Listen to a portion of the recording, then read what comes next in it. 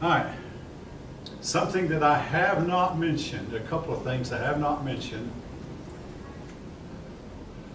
Oh, this is important. In the olden time, Upper Egypt, you had Upper Egypt and Lower Egypt. Now, this will fool you. Upper Egypt was south, Lower Egypt was north. You might wonder, why was Upper Egypt south? Because Upper Egypt was higher in elevation than the northern Lower Egypt.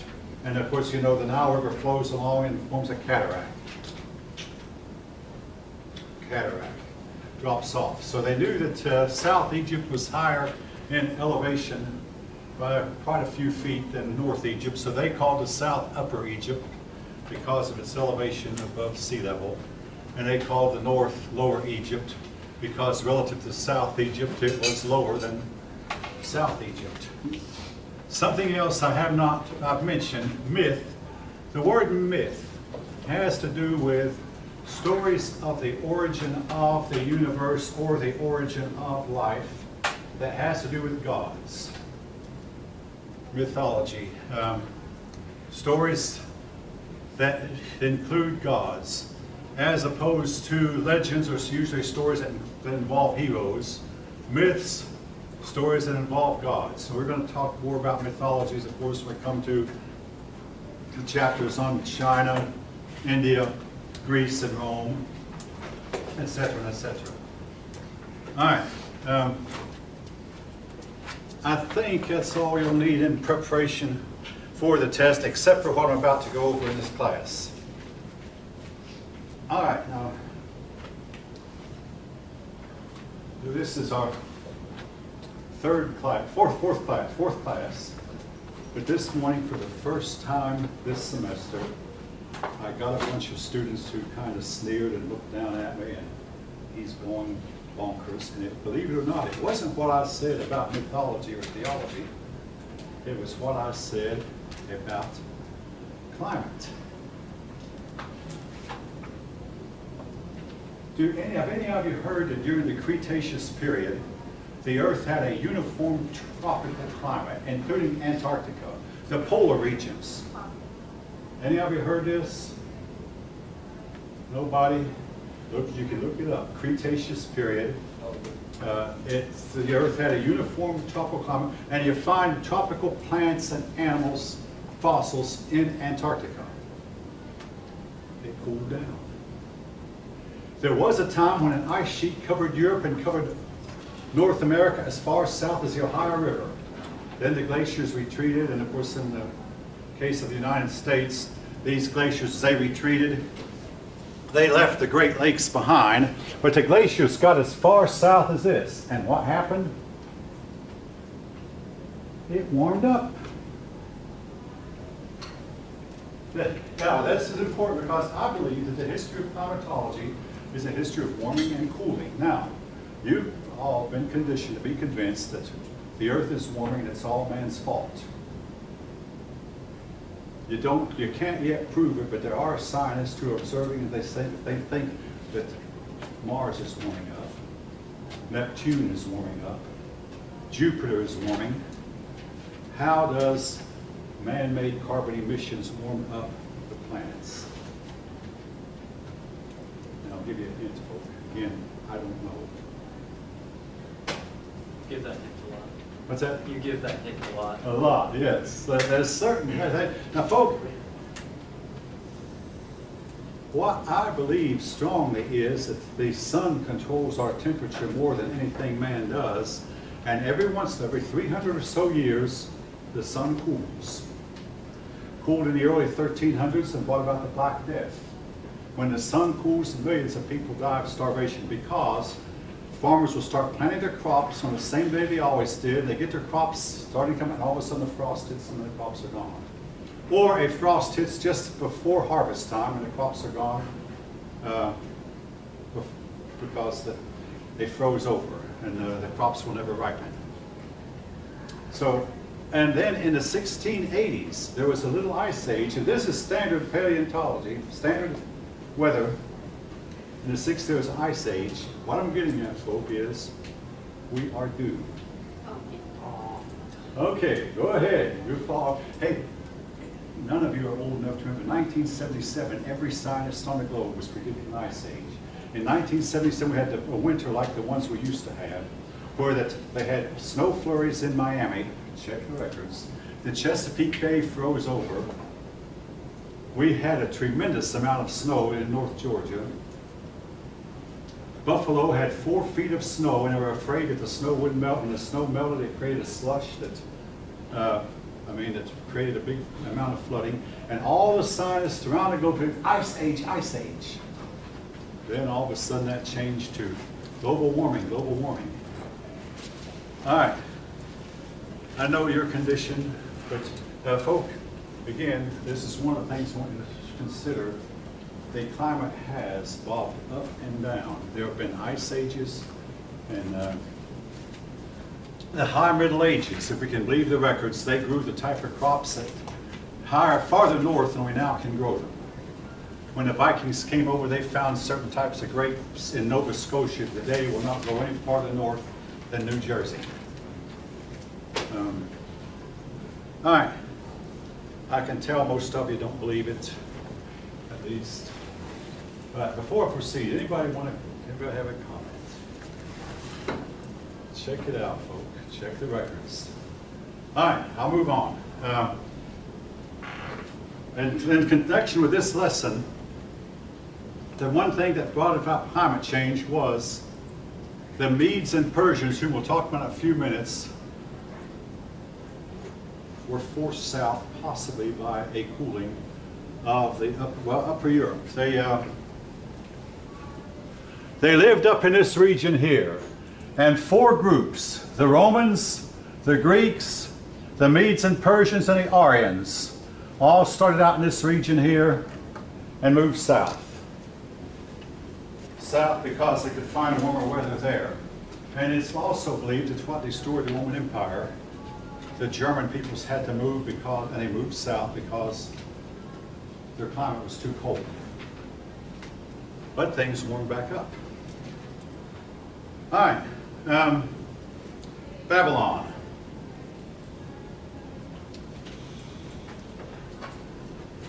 The story of Babylon is a story of a rise and fall and a rise again.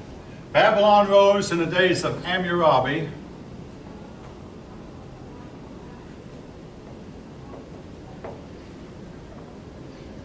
Babylon rose and then fell.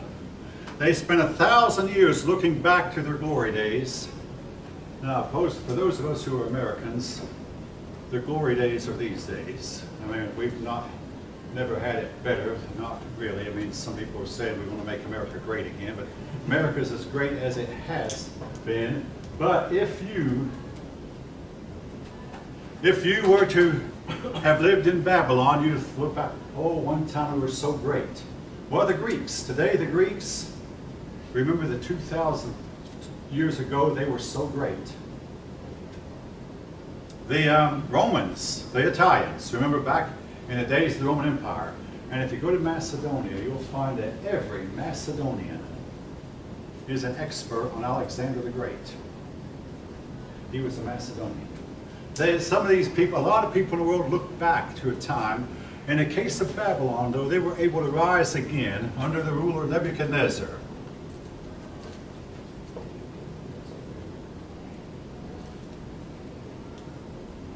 All right. Um, I wrote his name here. Okay, yeah. Now, Nebuchadnezzar's father had defeated the Assyrians. He had gotten together with the Medes, and he, with the Babylonian Empire in combination with the Medes, defeated the Assyrians. And the Assyrians tried hard to rise again, but never did. And if you go meet an Assyrian, there are supposedly 10 million Assyrians today, they will tell you they remember a time when they once was the greatest empire in the Western world, the greatest empire that they knew about. But anyway, Nebuchadnezzar defeated them.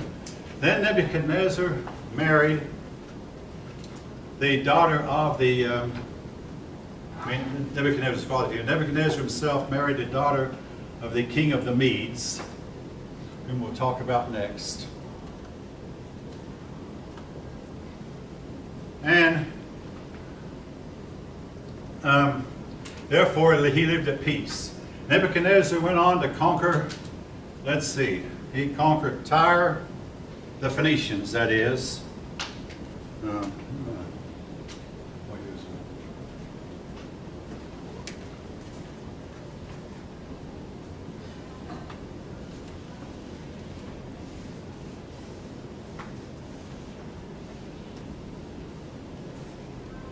He conquered the Phoenicians.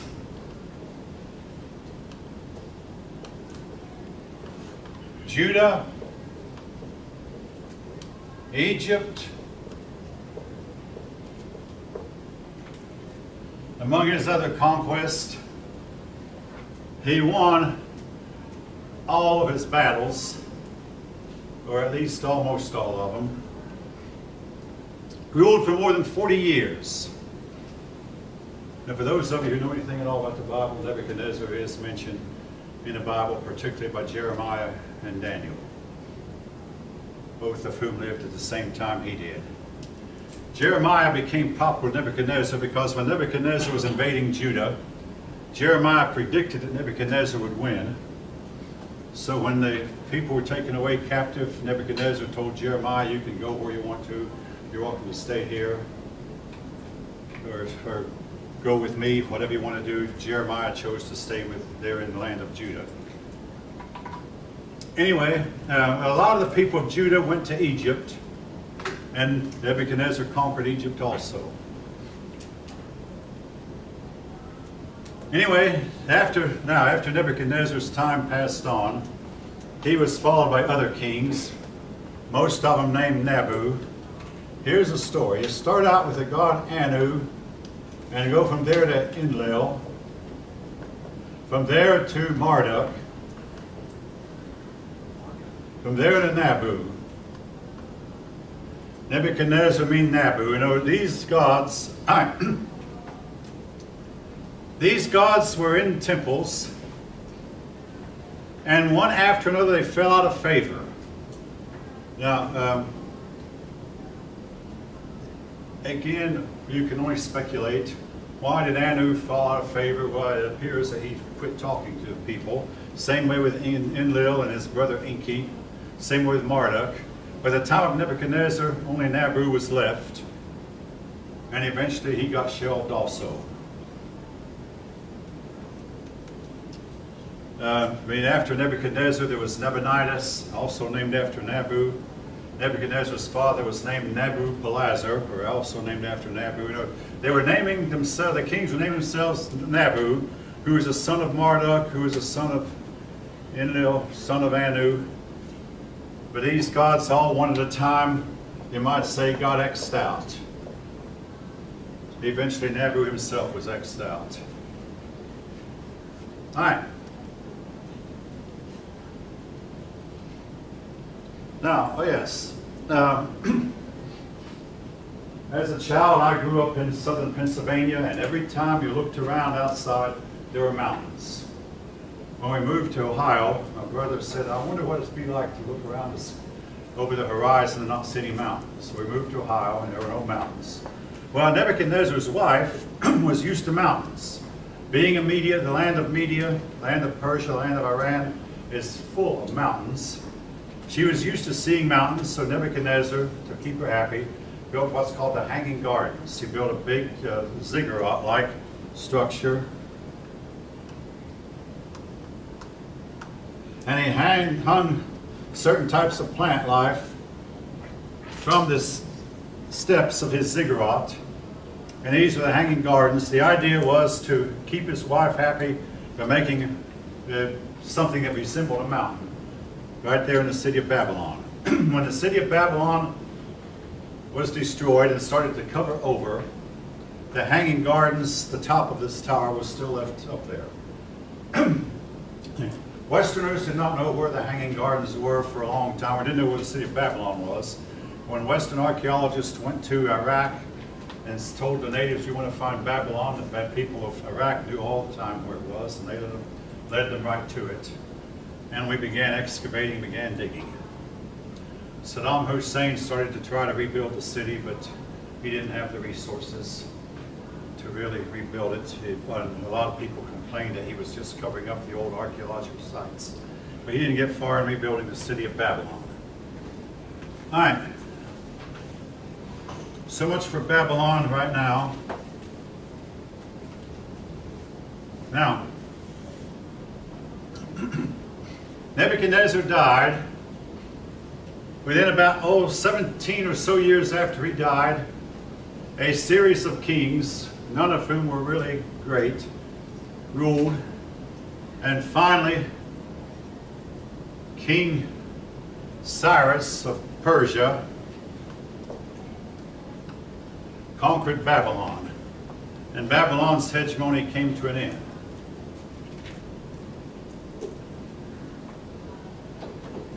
All right. Um, this brings us up to the Medo-Persian Empire.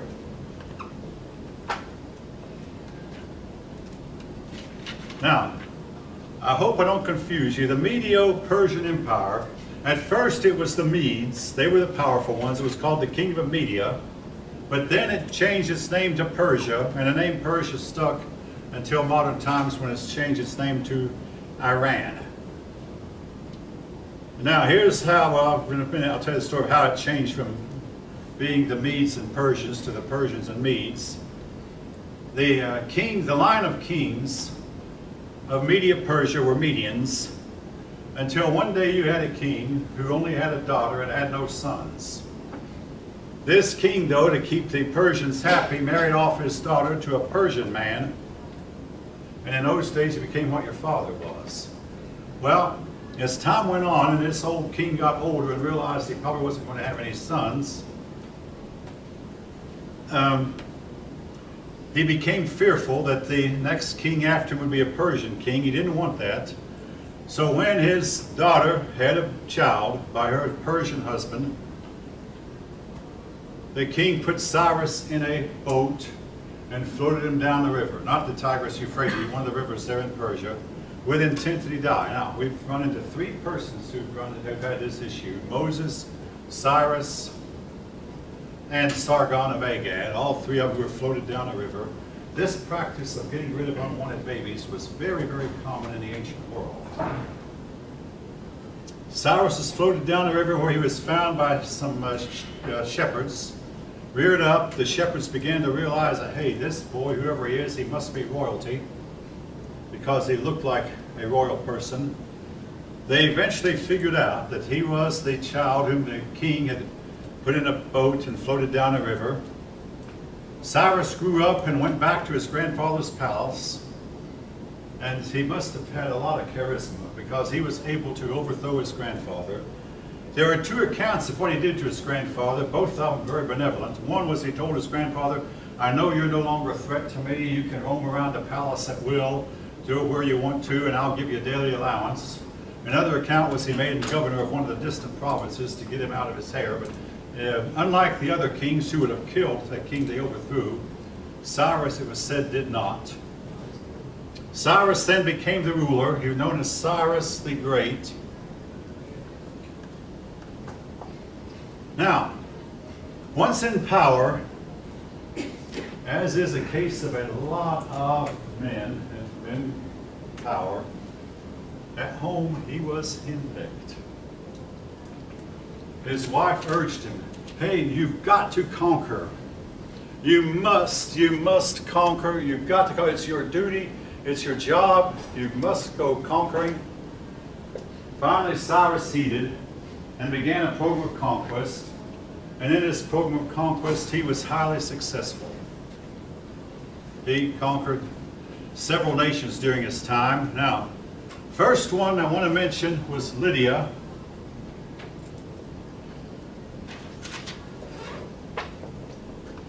Lydia is the first country now we know of that coin had coins, silver coins, gold coins, and even coins made of baser metals. I don't know which one, but I mean we have coins made of nickel and coins made of copper, and coins made of silver. But any more silver coins are sandwiched with copper in the middle and silver on each side.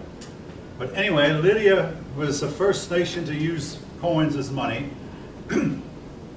Lydia got rich through trade, and one day Lydia, the king of Lydia, decided, hmm, do I want to go fight the against the Persian Empire or not? Lydia, the king of Lydia consulted an oracle, and this is the way oracles answer, folk. It will be sunny today unless it rains. Well, like a typical weatherman, there's a 30% chance of rain today. I mean, you know, it might, that means it might, it might not, and we quite frankly, we don't know. I may have told you, that when I was a youngster, the weathermen could predict tomorrow's weather six times out of seven. Today, we have computers galore, and we have satellites in orbit. We can see the whole world, and today's weathermen can predict tomorrow's weather right six times out of seven. All right, point I'm making is the, the oracle told the king of Lydia, if you go to war against the Persians, you will destroy a great empire. So the king of Lydia went to war against the Persians, he destroyed his own empire. Uh, These oracles could really pull a fast one sometimes. We'll have more to say about that. Even though, now I will say, the oracles treated Alexander the Great really well. They deceived Philip of Macedon, his father, but they treated Alexander quite well, but that's another issue. Um, But anyway, um, Cyrus conquered Lydia. He uh, then went on to, um, well, to- to, to conquer, well, he, he didn't conquer Egypt. That was done by his son. But he's remembered mostly not just for his conquests. And again, he consolidated the conquest of the Assyrian against the Assyrian Empire, kept it under control, conquered Lydia, went east and conquered the lands to the east, got to the border of India. But he's remembered more for his kindness and benevolence. He allowed the Jews to return to their homeland. In fact, in the first year of his reign, he told the Jews